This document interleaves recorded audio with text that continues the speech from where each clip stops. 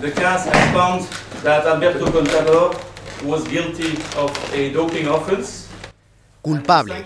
El Tribunal de Arbitraje Deportivo ha condenado al ciclista español Alberto Contador a dos años de suspensión al considerarle culpable de dopaje tras dar positivo por clenbuterol en el Tour de Francia del año 2010. Una sanción de carácter retroactivo, por lo que el corredor del Saxo Bank podrá volver a competir a partir del 6 de agosto de 2012 sentencia que ha convertido a la localidad madrileña de Pinto en el epicentro del ciclismo mundial, en particular el domicilio del ciclista, por donde han pasado los más diversos personajes para mostrar su apoyo a Contador. Y bueno, pues nada, hemos decidido pasarnos por aquí para bueno, darle nuestro, nuestro apoyo y, bueno, que sepa que, que estamos con él, y bueno, pues nada, adelante, vamos a ver ahora qué paso sigue, pero vamos, que un poco de desilusión por la, por la sentencia y, y bueno, injusta, la verdad que creemos que injusta.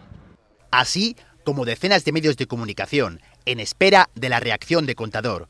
Una reacción que se conocerá mañana, cuando Alberto Contador tiene previsto ofrecer una rueda de prensa junto con su entrenador, el director del Saxo Band, el danés Bjarne Ries.